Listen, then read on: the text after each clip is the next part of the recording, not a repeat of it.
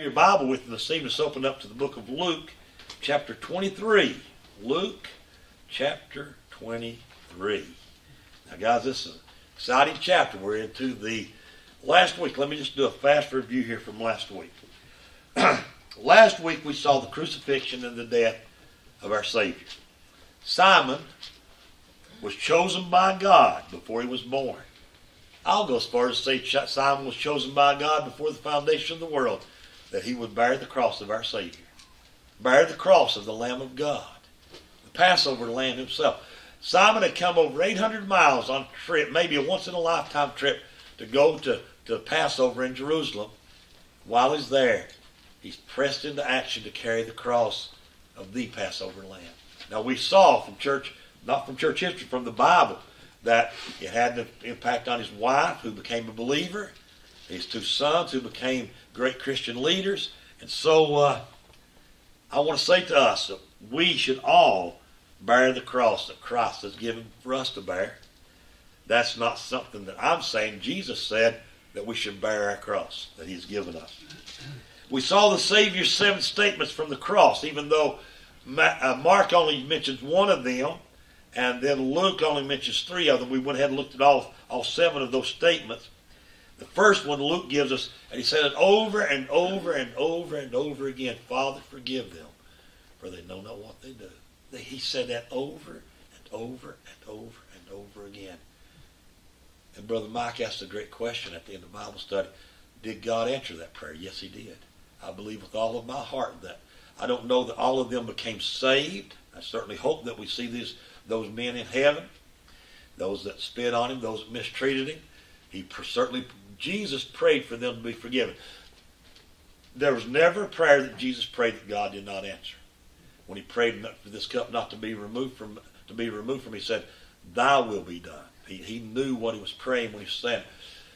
If not, then I'll at least say this: that when these men stand before God someday, they will not give an account for this. They may give an account for all the sins they've done in their life, but they will not give an account for this because Jesus has already, he's applying his blood at this time. He's dying for the sins of the world. And he said for this not to be laid to their charge. Then we looked at that center statement, number four. My God, my God, why hast thou forsaken me? The only one of the seven statements that's in two Gospels, in Matthew and in Mark. It is not just the center, the, the, the middle of the seven, it is the center of all human existence. Redemption was made during those darkness in three hours as he paid for our sins. He said, It is finished. He faced all the horrors of hell. And you say, well, how can he do that? Well, because if we die and go to hell, we'll have to be there forever and forever and ever because sin demands an eternal punishment. But he not only is infinite in duration, we're infinite in duration, we'll last somewhere forever. He's also infinite in his nature. And he was able to pay for the sins of all the world in a finite amount of time. Then Luke tells us, he said, Father, in thy hands I commend my spirit. He bowed his head and he gave up the ghost. All this was paid for. Now, we come to this part the burial of Jesus Christ. This, if you take the gospel in short, you say, what does Paul call the gospel? Paul calls the gospel the death, burial, and resurrection of Jesus. I know we talk about the seven fundamentals, but if you're just going to give the gospel in short, it still has the burial in there. Burial, as the Bible tells us, according to the scriptures, it's prophesied that he'd be buried, and he was buried.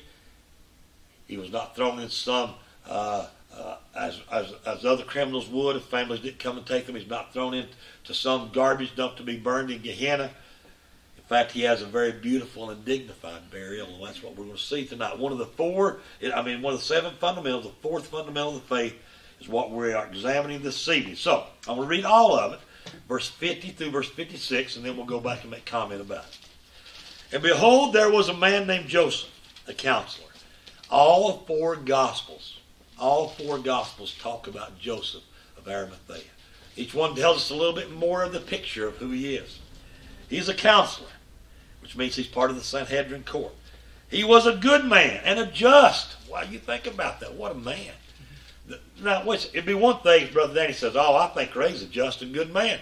It's another thing when the Word of God says He was a just and a good man. God's Word says it. the same had not consented to the counsel and to the deed of them.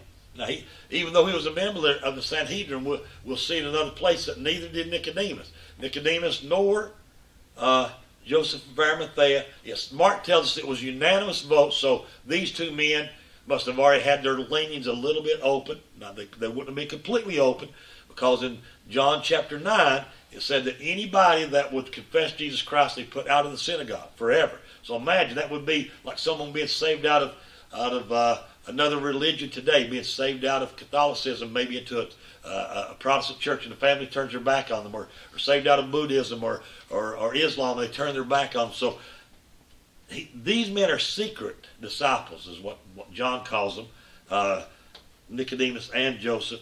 But he had not consented to the counsel or the deed of them. And he was of Arimathea, Luke's only one that tells us this, the city of the Jews, about 20 miles away, who also himself waited for the kingdom of God. Wow. He was one of those, wasn't he? One of those fanatics, like like Anna was when Jesus was born, or, or Simon. Remember when they said that, that Anna prop, uh, stayed and prophesied in the in, in the in the temple. She stayed there working with the prophets. I say she stayed there ministering day and night, waiting for the coming of the Savior. And, and of course, when they came and brought the little late day old Jesus, Simon takes him up in his hands and says, "I can die now." Can you imagine how scary this was to a new mom and dad? I have seen the Savior. Hallelujah. He's one of them. He's one of those crazy people. He's one of us that believes the kingdom of God is coming. We're like that, aren't we? We believe the kingdom of God is coming. We really believe that. We believe it could happen tonight, that it could come and get us. We believe in a literal kingdom. So he's waiting for the kingdom of God. This man went unto Pilate and begged the body of Jesus. Now, he will be known of Pilate. We'll find out another place that he's filthy rich. In fact, history says he was, a, was the second richest man in all of Jerusalem. Uh, his buddy that was with them, Nicodemus, was either the third or the fourth richest man. So we're talking about some multi-millionaires, very powerful men. So he would have access. Politicians like Pilate always know who the rich folk are. But he goes there and he begs the body of Jesus. And what a weird thing that would be for him to do, Betty, to ask for this criminal's body, as far as Pilate's mind, you know. So, and he took it down. I like Luke doesn't even really say the body so much here, does he? He took it down and wrapped it in linen and laid it in a sepulchre that was hewn in stone. Wow, that's expensive. I mean, that's some money there. I mean, you, that, that's something. Wherein never man before was laid. So it's a new sepulchre. One evidently he's preparing for himself or for his family, even though he's from Arimathea.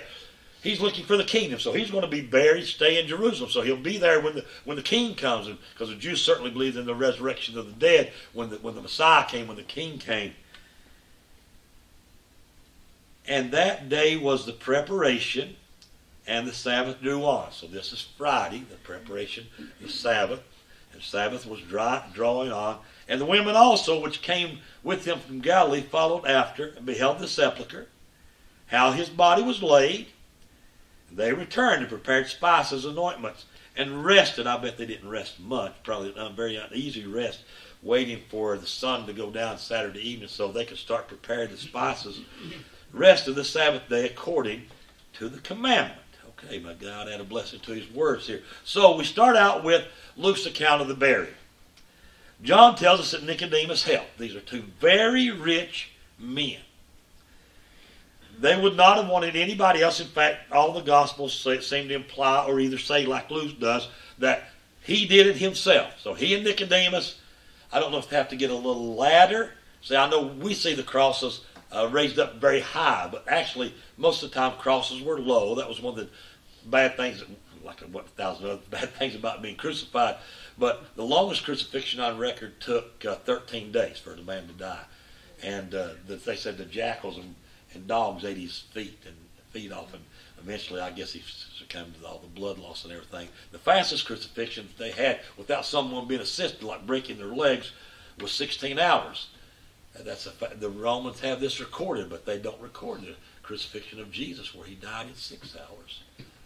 It was very unnatural, probably. Why? The, the sun, the sun in the middle of the day turns dark. I mean, not just there, but all over the world. We know from all over the Mediterranean world because we have records. It was dark in Europe. It was dark in, in Africa. It was dark all Luke just says, hey, it covered the whole world. We just don't have records of it covering the whole world, but it did. So anyhow, they get they go to the body of Jesus and they take it down. They would be wearing their white Passover robes. Now, wait a second here. I'm looking at people that's actually done a day's work in their life a time or two, right? So you know what we're talking about here? Pulling nails out of that feet.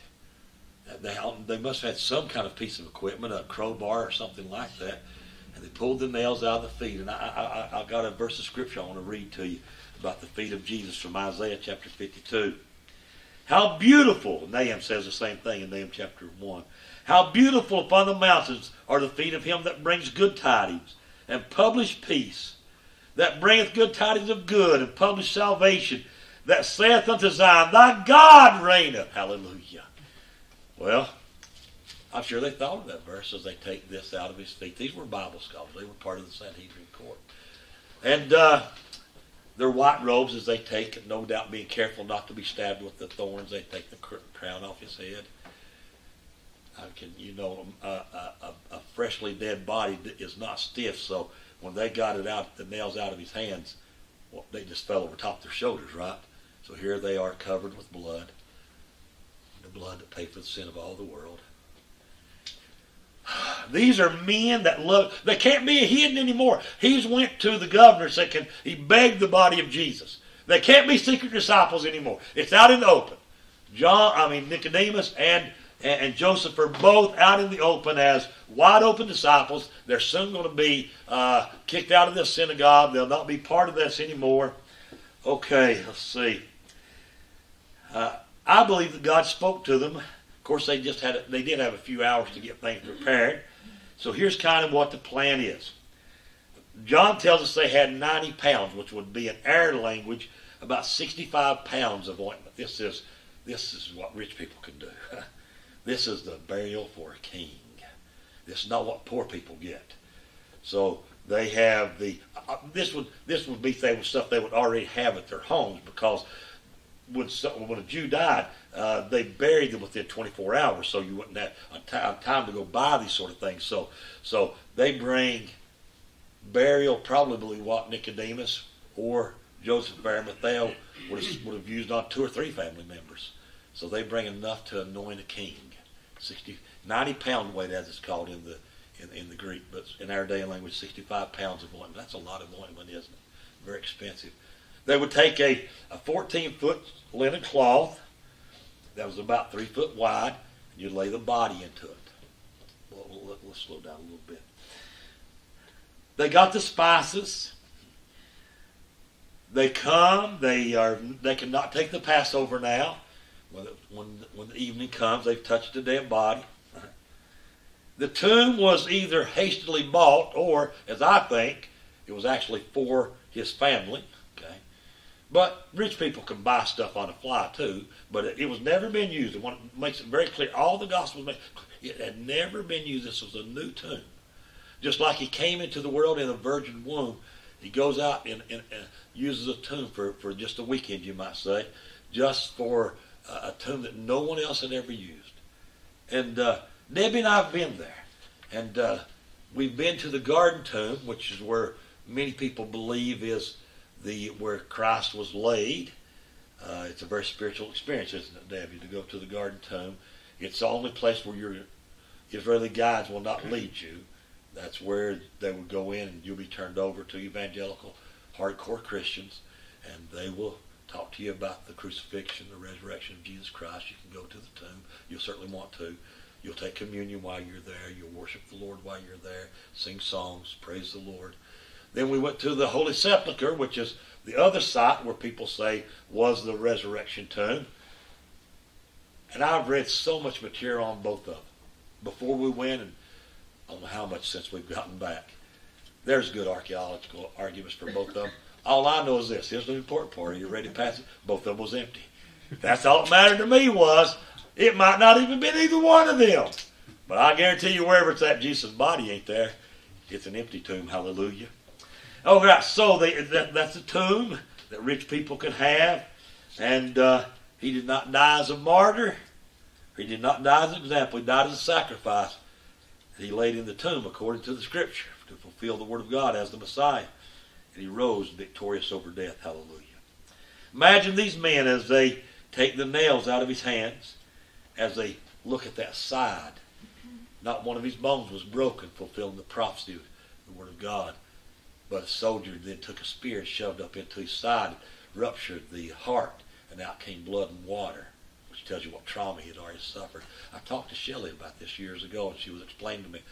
I didn't understand half of what she was saying, but she was explaining to me what this was like. You know how you, your blood separates with uh, serious trauma and this and this, and that sometimes it can be healed. You know, it can be healed, but of course they just shoved a spear in there. And out came the blood and water. The Word of God tells us. We still sing about it today, don't we? From the wounded side. These men washed him with water. That's that's the deal. They would wash him ceremonially. Same deal that Jewish men are treated with today. Same respect. They respected him as you would a family member. He was their Savior. They washed his body. They cleaned it. They dripped the, the, the proper ointments. In fact, more than way more than be needed. What would be for a king. They would bring the the that. They would take a. Uh, John mentioned this. The the napkin that they would tie around his jaw to hold his jaw together then they would go over this. They would tie his knees together after they put the cloth down in his ankles and his hands, and they cross and go around it. And they, they did it all. These men did all of that, you know.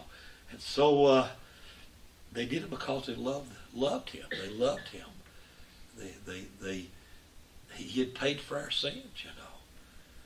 So uh, then we see the ladies though. They're they watch this, so they know that he's been in, not embalmed, he's been anointed properly. So they are preparing other ointments and spices, verse 56, uh, doing what they can. They can't, they will not unwrap the body of Jesus. That's not their plan at all. No one would do that. That would be cruel and gross. But they're bringing other fragrances to put on him, uh, as as women could, as as as, as common everyday workers could, I should say. But it's not the men that go to the tomb. No, no, no, no. It's the women that go to the tomb. And they go there to, uh, to put spices on the body of Jesus. Uh, here's what's funny. It never mentions what happens to the spices. Did they just drop them? When, when you see angels, strange things start happening. They take these spices there, and then all of a sudden the angel says, what are you doing here? He ain't here. You know, we don't read any more about the spices on them. Somebody said, let's back up. It's very expensive or what they did. But anyhow, so that is Luke's account of the burial. Now I want to go to Mark's account, and then we'll, uh, at the end, be taking notes if, you, if for questions or comments that you'd like to ask. But that's Luke's account of, of the burial of Jesus Christ. So Let's go to Mark now. Mark chapter 15, verse 42. And we're going to see some of the same things again, but we're also going to see some other things that he talks about.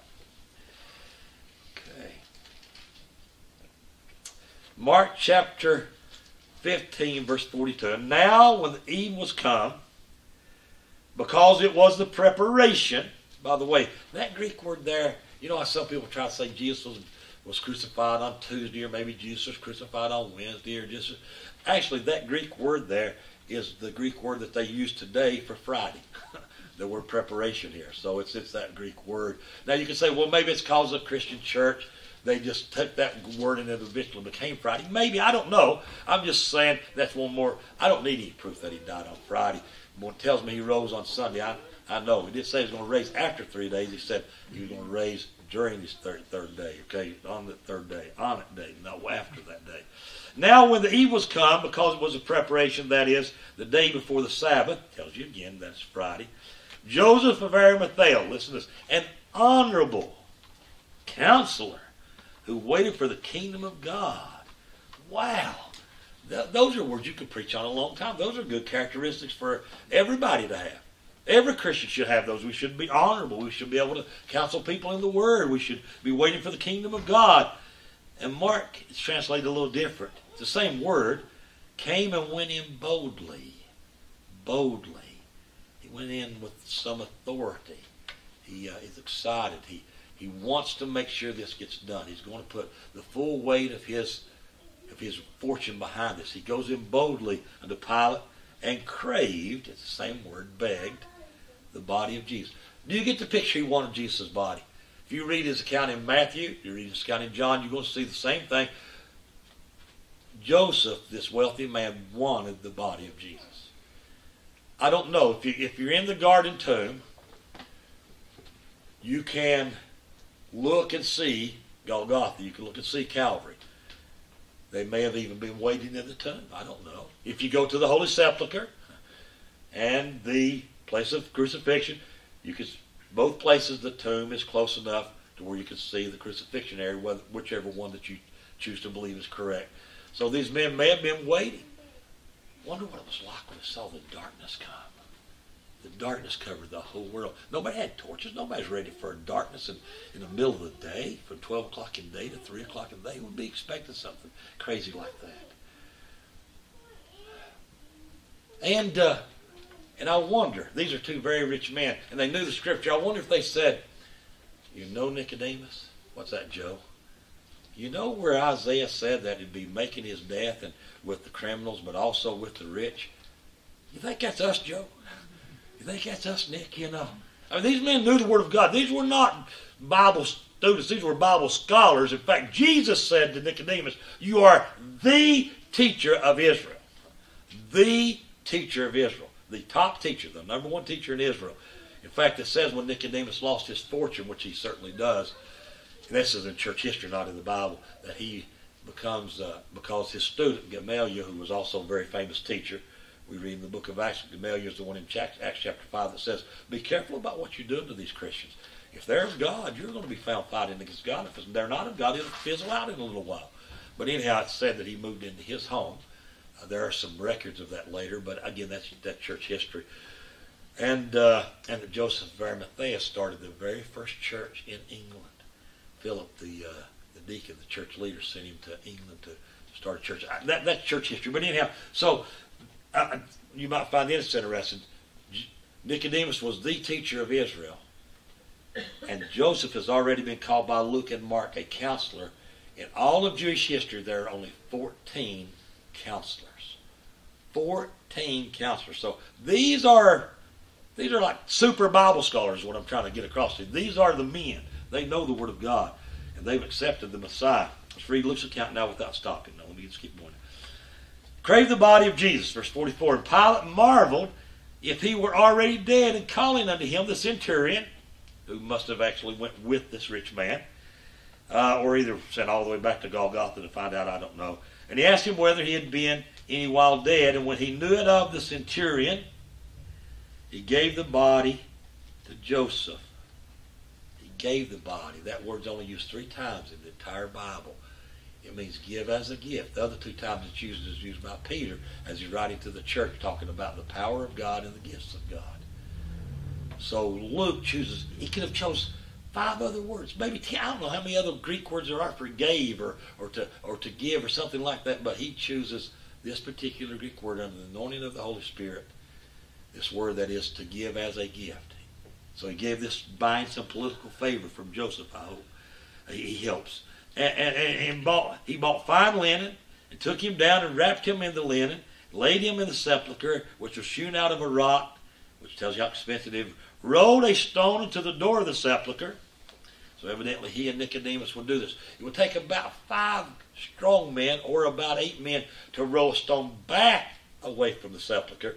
Roll it down would usually take two or three men. So he may they may have had uh, the centurion with them at this time or something. Maybe Pilate made him go with, but they it would take two men, good strong men or three men to let the stone back over. And Mary Magdalene and Mary the mother of Joseph beheld where he was laid, so they know exactly where he is. So let me make a little comment about this now. Had they searched the scripture to know that the Lamb of God would die this day, or this week, I should say? Dr. Warren Wiersbe thinks so, and I know several of y'all use Dr. Wiersbe's commentary. He thinks that they actually were preparing already earlier in the week. I don't, I don't know. I certainly think that God spoke to them, and they did get prepared. Uh, in the book of Isaiah, let me read this to you uh, about this Isaiah's account of the crucifixion before it ever happens. Isaiah 53, verse 3. He was despised and rejected of men, a man of sorrows, acquainted with grief. And we hid, as it were, our faces from him. Surely he hath borne our griefs and carried our sorrows. And we did esteem him stricken, smitten of God, afflicted. But he was wounded for our transgression. He was bruised for our iniquities. The chastisement of our peace, that's your peace, my peace, was upon him. And by his stripes we are healed. All we like sheep have gone astray. We have turned every one to his own way. He was oppressed and he was afflicted, yet he opened not his mouth. He was brought as a lamb to the slaughter, and as a sheep before her shears is dumb. And who shall declare to his generation? For he was cut off from the land of the living. For the transgression of my people was he stricken, and he made his grave with the wicked and with the rich in his death. So uh, Isaiah saw it beforehand. David saw it beforehand. Uh, many of the prophets and, and writers of the Old Testament saw it beforehand. So these men are fulfilling Scripture. They burying him. Uh, a couple last things about these men. Uh, imagine the honor that Jesus may have given them or must have given them after the resurrection. We know that Jesus met with over 500, Paul says, over 500 disciples at one time.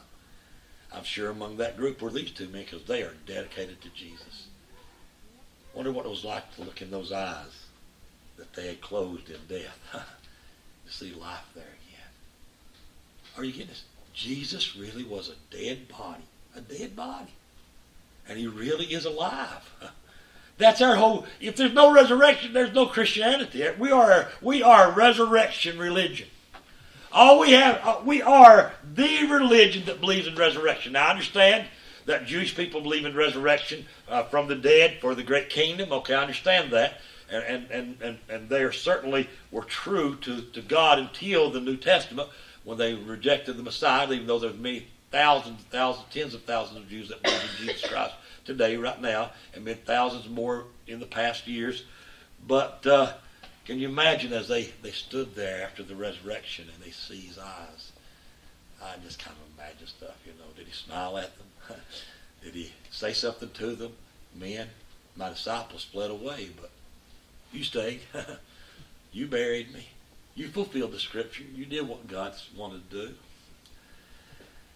Uh, they all, as I said, they lost their wealth because they, they knew they would because they were in the council in John chapter 9 when they agreed, uh, when the council as a whole, not those two in particular, that anybody that was a believer would be removed from the council.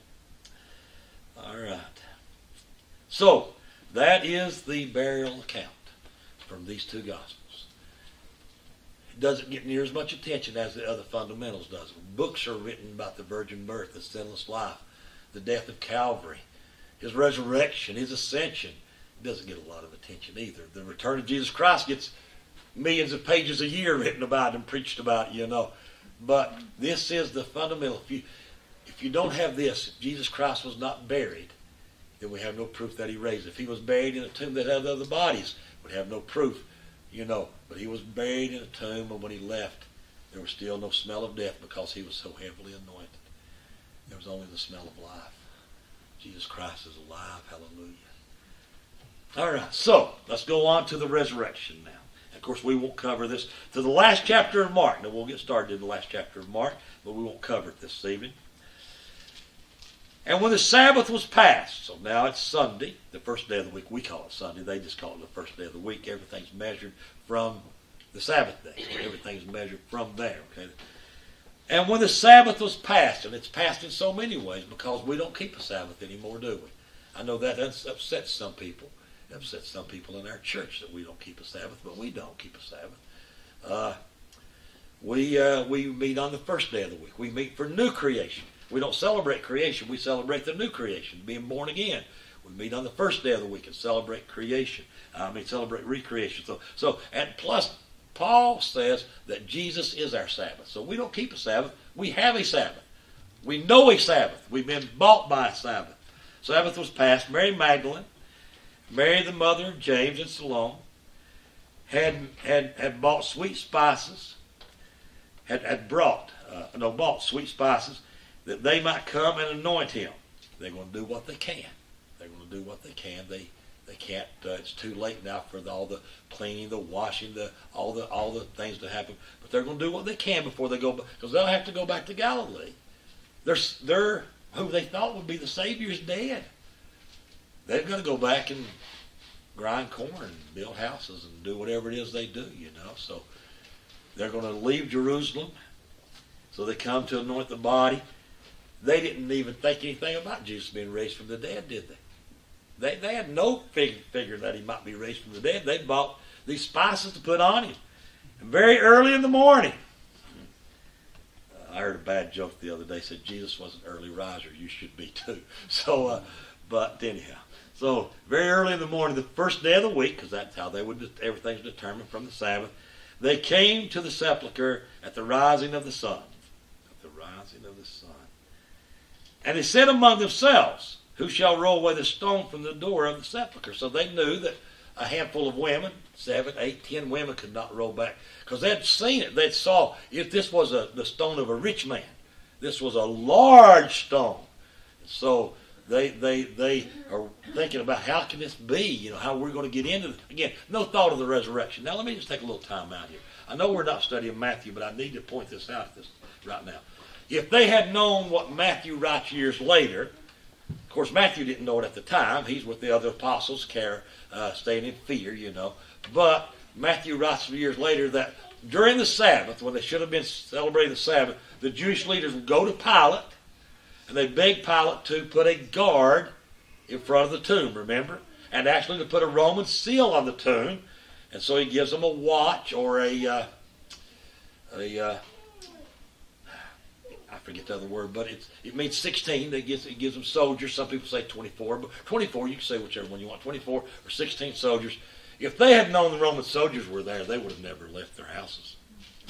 They are not going to let them near that tomb. Roman soldiers hate Jews. They're not going to let them near that tomb. But they don't know that, do they? This has been kept from them. They, you know, none of the apostles would know this at this time. This was the the uh, Sanhedrin went there and uh, commissioned Pilate to do this. So none of them would know this. So they go. By the way, I want to tell you something. And when they looked, verse four, they saw. They looked. Actually, the Greek words. They looked up. So they're coming up toward the garden or the tomb, whichever tomb that is. They're coming up toward the tomb they look up. They saw the stone was rolled away, and they could see it from a distance, even though it was early in the morning, because it was very great. It was a big stone. It was a rich man's stone. And uh, just before they got there, there was this angel named George. No, I don't know what his name is. There was this angel. We don't even know his name. And God sent him from heaven, and he rolls the stone away. In fact, the Bible says he flings it away and then makes a chair out of it and goes sits on it because he can, because he's an angel. He's all those Roman soldiers lay on the ground shaking, pretending to try to be. They want to pretend they're dead, but they can't quit shaking to pretend they're dead, and uh, they don't leave till he leaves, and then they they're gone by the time the ladies get there. So this all happens very quickly, within just a few minutes, and they're gone. But now they see. And they're very brave and entering into the sepulchres because they, really loved Jesus. They saw a young man. Not terrifying to them, was it? I don't know if it's the same angel or not, but they don't see him as terrifying. Sitting on the right side, clothed in a long white garment. They were frightened. Now, they were still afraid, you know. He said unto them, it's a command. It's not a request, by the way. I think this is very weird. Some things in the Bible just really kind of throw me for a loop. And this is one of them. He commands them, stop being afraid. I mean, it's hard to, look, it's hard to stop being afraid, okay? Just like it's hard to stop laughing sometimes. I mean, you know, you can tell people, stop laughing, it just makes them laugh more.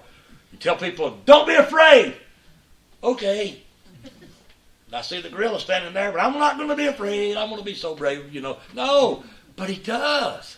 This is really a weird thing in the Bible. He says, stop being afraid. You're not allowed to be afraid. But then he tells them why, and now it starts making sense. Why should you not be afraid? You're looking for Jesus of Nazareth. He was crucified. now he's risen. Hallelujah. He was, I underlined that in my Bible. He was crucified, and I put this in parentheses. He is risen. He's gone. He's not here anymore. He is not here. Behold the place where they laid him. two good men laid him in a particular place, but he's not there now. He's risen from the dead. Quit being afraid. I'm sure God doesn't want us to be afraid, does he? But sometimes I am anyhow, and I know God doesn't want me to be afraid. But sometimes you get scary news. Sometimes the scary news is about you or whatever. I mean, so sometimes it's hard not to be afraid. Or maybe not even involve health at all, but sometimes maybe you see something in society that you say, I can't help this. It's beyond, well, quit being afraid because Jesus is alive. It's not up to you. It's, not, it's not up to you. Jesus is alive. But go your way. And I don't know what that way that is for you. I know what sort of what the way is for me. I know kind of what he wants me to do. He, uh, he's, he's, called me to be a teacher of the church and, and to help provide some leadership. Sometimes still on days of the week, I don't know exactly what he wants me to do that day. That's why we've got to pray all the time, right? We always got to pray. Just keep praying. Go our way. Be doing what he wants us to do. And tell his disciples, what's the next two words? And Peter. And Peter. now, how's Peter going to feel when he hears this? Okay? He's not there, there to hear the inflection in the angel's voice. Does he say, go and tell his disciples, and Peter, encourage him, okay? Or does he say, go and tell his disciples, uh, an old cock crew rolling Peter, you know, you know. So, I mean, he don't know. That's why. I know y'all all love this, but I don't. When people send me texts and stuff, I don't know. I can't hear the inflection in your voice. I tell people, there was a reason that the telegraph was done away with when they invented the telephone, but now everybody's got these, and they want to send me texts or they want to send emails, and sometimes I can't tell what you're talking about. Not you in particular, okay? But pick up the phone and call. I can hear your voice. It's more soothing. I can tell whether you're distressed or not distressed. Even better if you could, of course, see people face to face. But the telephone's pretty good. You can hear people's think, uh, what their voice and their tone and stuff. But so Peter, I wonder what he's thinking. What would you think? The women get back and say, he said to come and tell his, his disciples and Peter. Peter says, uh-oh. wow. I really messed up bad, didn't I? Now we know that he's wanting Peter encouraged, okay? But Peter doesn't know that yet. He denied him three times. He denied him three times. And Jesus soon asked him three times to feed his sheep. So each each denial gets a gets a confession, you know. So uh, so he's going to he's restoring Peter. Peter's going to be the leader of the church. That's why he said it that way, because he wanted Peter to know that He he, was. I think so, right. Yeah. But now, if I'm Peter hearing this, I didn't hear what the angel said, okay? And and I'm saying, well, no, say say this again now, ladies. What's y'all heard- what- say it again? Y'all's getting ready to leave, and angel says, "Go tell my disciples." Now, how did he say, "And Peter"? You know, how did he say it? What did he look like? I know he's scary. He's an angel, but what did he? Uh, so, but it's all going to pass. I mean, but it's still that he goeth before you into Galilee, there shall you see him. Now that's another verse. As he said unto you. Now that's another verse that's confusing to me. Okay, now, so I wrote this now. This verse confuses me. He says in all the Gospels, "Go tell them to go to Galilee, and I'll meet with you there." But then, what's he do? He meets with them in Jerusalem. I know he's going to have the long forty-day meeting with them in in in in uh, in Galilee. Most of the time, then he'll come back to Jerusalem, evidently briefly before he goes up into heaven. I think it's what it seems to be. It's always hard to get locations nailed down exactly where everything's happening. But we do know they're still in Jerusalem, and he appears to Peter this day. So that's going to help Peter out before the day's over. Jesus is going to have a personal talk with Peter. That's going to feel good. At some point, he's going to appear to his brother James, who's not a believer yet, but he's going to become a believer, and all of his brothers become, and sisters become believers.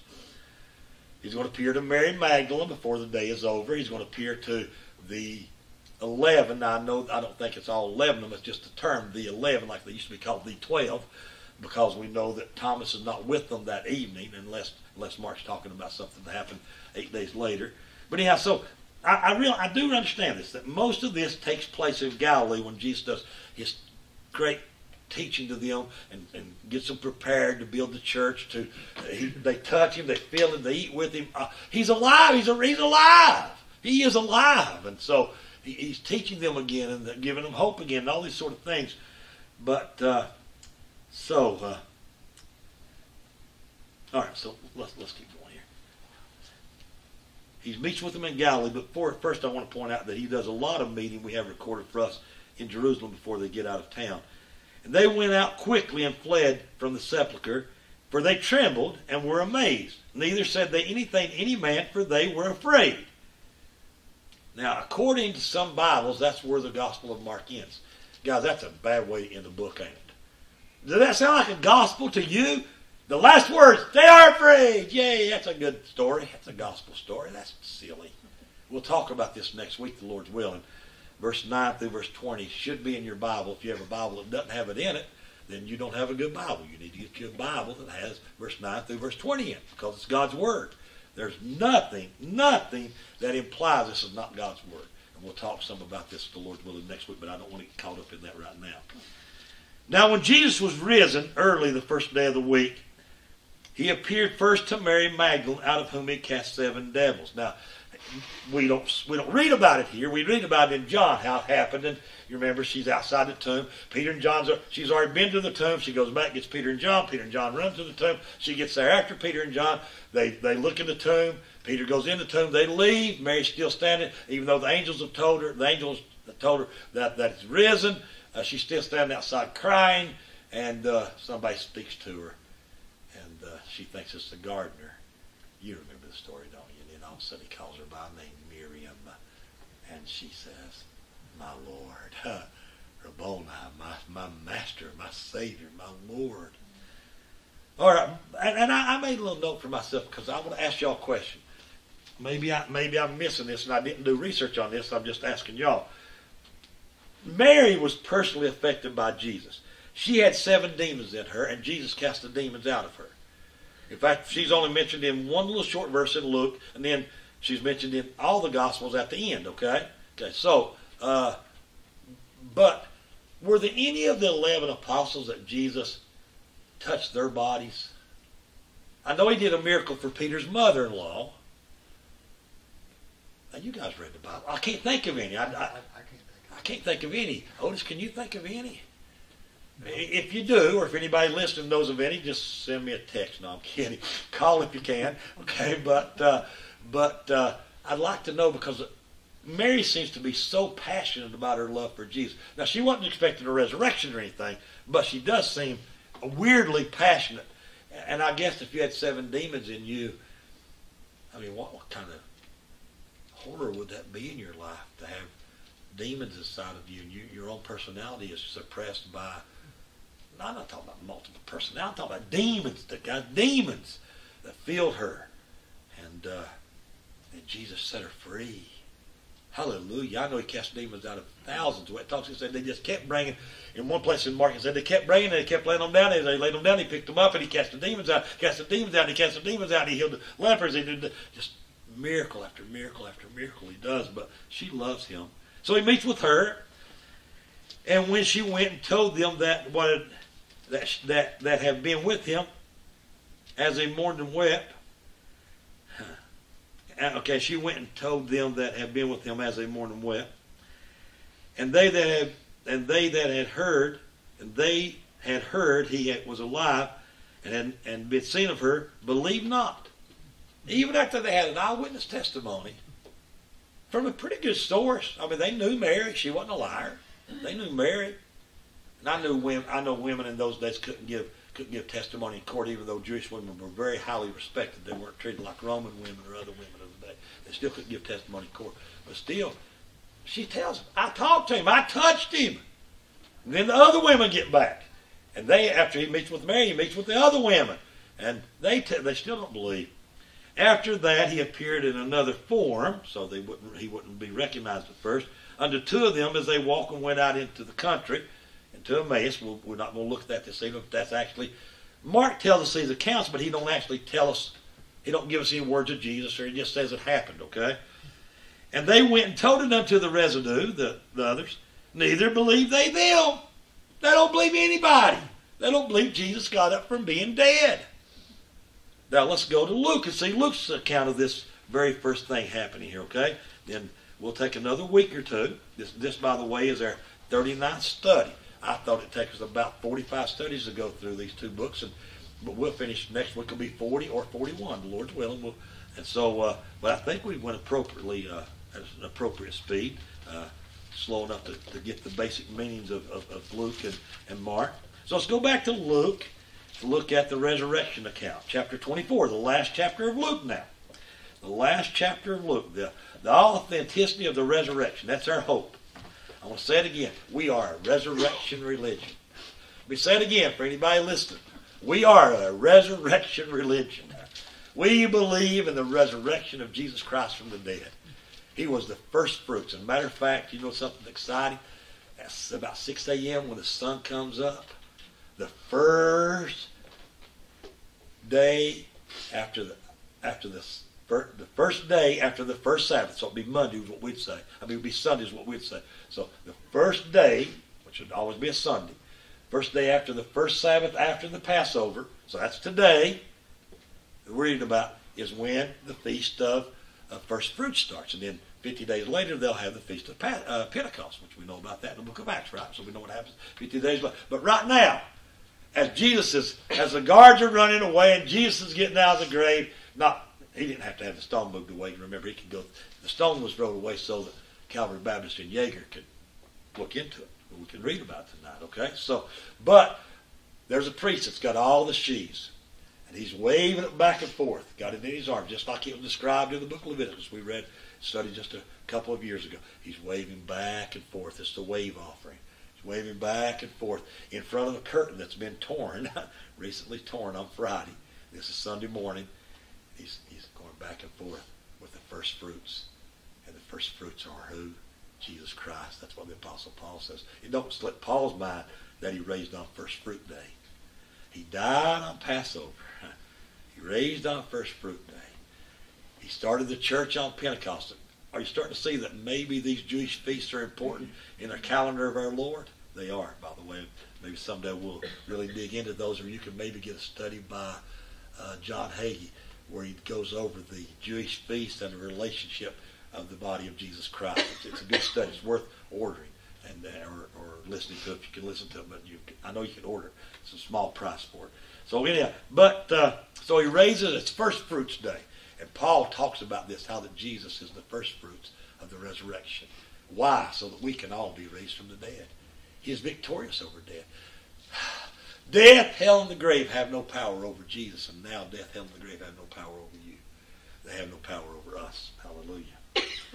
All right, so now, upon the first day of the week, very early in the morning, they came, the, the women we just read about in verse 55, verse 56, this group of women that had arrested, they got these spices. Now, upon the first day of the week, Sunday, the new creation, very early in the morning, they came to the sepulchre, bringing the spices which they had prepared and certain others with them. So there's even a larger group, not, not besides the one that Luke mentions in verse 55, verse 56. Now, I want to get, this is where Sister Joyce uh, Morgan used to help me out here, because this is a little bit confusing to me, okay? The commentaries and the Greek commentaries point out this is a disjunctive conjunction. That don't mean a thing to me. I was a math guy. I'm not an English guy. So I looked it up again since I knew nobody would be here to help me with I'm, didn't mean to sell y'all short. Maybe do y'all know what disjunctive conjunctions are? Sister Joyce would just rattle it right off. Okay, she knew all that stuff. Okay, but listen, it's when you link two things together that have already been read, yet knowing that we're entering into a different linked topic. But that's not all. All conjunctions sort of do that. But the point is that only one can be true. Okay. There are disjunctive conjunctions. Either Jesus rose from the dead or Christianity is a lie. Either Jesus got up from being dead or we're all going to die and that's it. No. You've got to make your mind up. Did Jesus raise from the dead? Is Jesus alive? You can't just say, I don't want to make my mind up. You have to make your mind up. Both cannot be true. Either he raised from the dead or he's a liar. He said he was going to raise from the dead, and I believe that he raised from the dead. Okay, Jesus is not just a prophet. No, he is the resurrected Messiah. There is not a Christianity without a risen Christ. Okay. They, and they found the stone rolled away from the sepulchre, though they didn't expect it. They did not expect to see the stone rolled away. Now, so they found something they didn't expect, and then they don't find something they do expect. And they entered in and found not the body of the Lord Jesus. So it's kind of weird. I like how Luke writes. I, I, Luke, I, I've told you many times, is my favorite gospel. I just like how he writes stuff. So he says, they found the stone, rode away. They weren't expecting that. They go in, they found not the body of Jesus. So this is blowing their minds. They, they found something they shouldn't find, and they didn't find something they was expecting to find. And it came to pass while they were much perplexed, saying, Look, it's cool, isn't it? He just puts it right out there. He don't say, "Oh, these were great Christian women and they had no fear in their." No, Luke just throws it out there. They were, they didn't know what's going on. Behold, two men. Mark tells us about one of them. Stood by them in shining garments. The word that Luke uses here, shining, doesn't mean shiny. Wait, look, look at me now. Listen now. Big difference. Shiny is one thing. Luke doesn't say they're shiny. He says they're shining. It's a, it's a Greek word that was used when Jesus was transfigured before the apostles, when his glory was shining out. These two angels are powerful angels. These are kind of angels you read about in the book of Genesis. These are kind of angels you read about in the book of, uh, of Revelation. These are shining angels. And, and so as you're looking at them, it's like lightning just comes flying out of them. And then lightning comes flying out. Then lightning comes flying out. No thunder, just lightning and shining and shining and shining and shining. And they were afraid. I guess they were. They bowed their faces to the earth. They fell right on their faces. And they said unto them, these two. Now, Mark tells us they, they say, Quit being afraid. Straighten up, girls. Quit being afraid. But that's not all they said. They asked a question. Quit being afraid. Why seek ye the living among the dead? Huh. That's kind of crazy, isn't it? Are you something wrong with you, you ladies? Why are you looking for dead people, uh, uh, living people among dead people? In fact, here's interesting to me. Now. The word living is singular. The word dead is plural. Literally, what it says is, why are you looking for the living one among the dead ones? He's the living one. Why would you be looking, ladies? I'm sorry. Why are you looking for him among the dead ones? Quit being afraid. I done told you. Quit being afraid. Quit that shaking. Okay. And so these angels are scary, aren't they? They're very scary.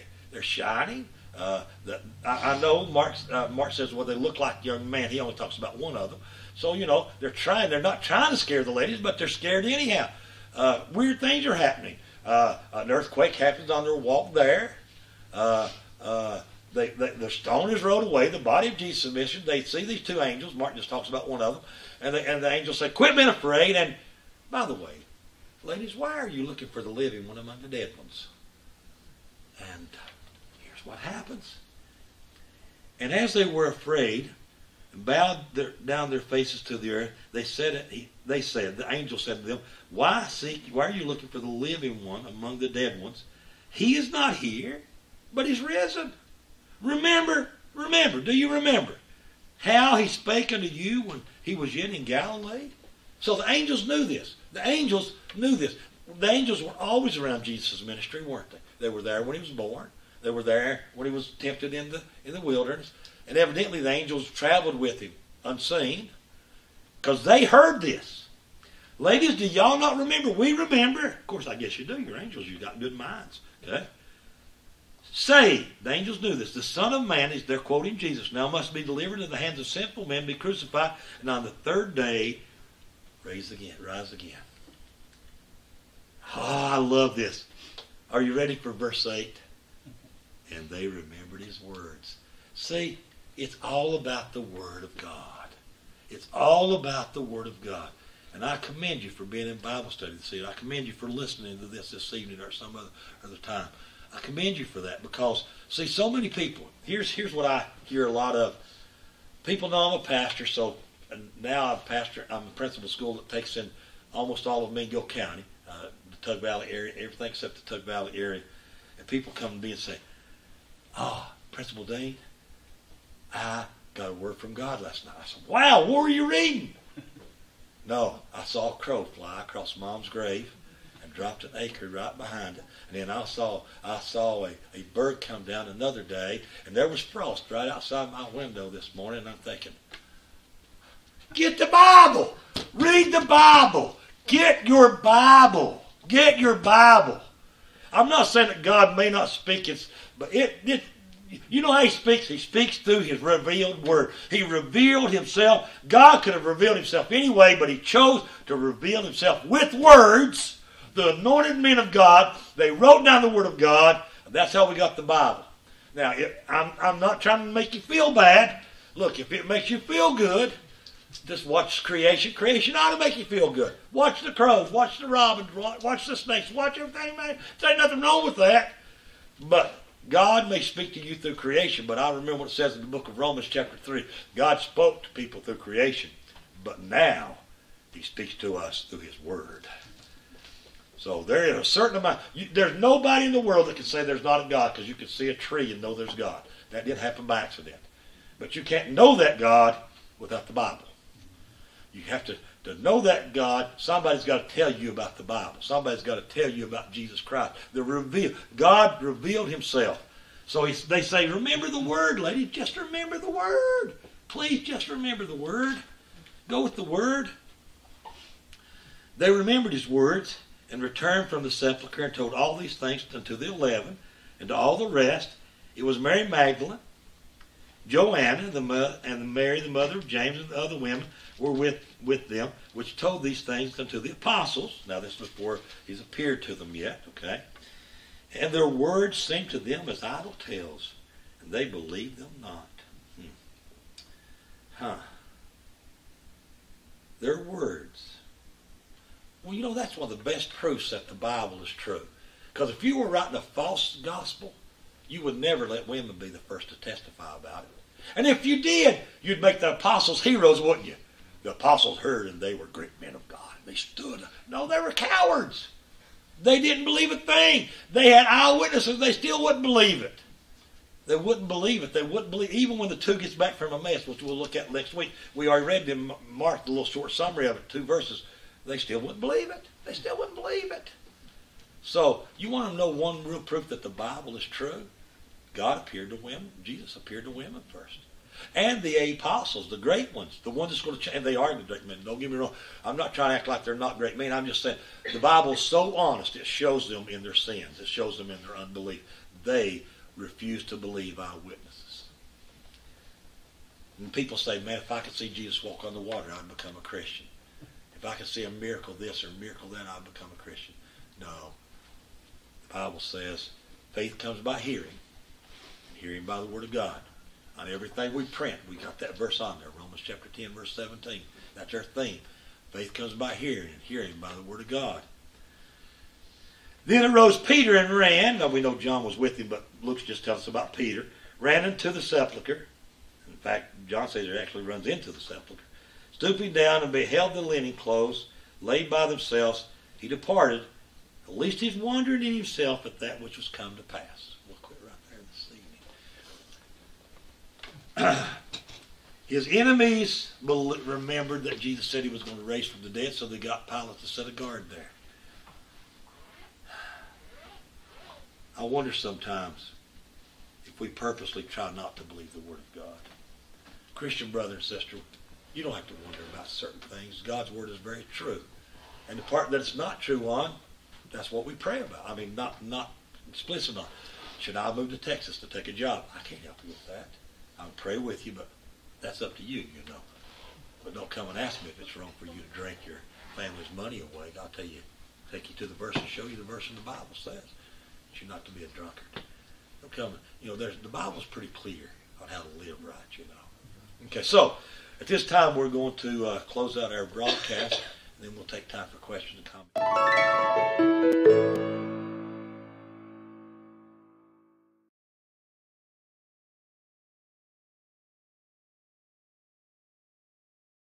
On those that have listened, those that will listen in the future, Lord God, that we would know that the Word of God is true, that we serve a risen Savior.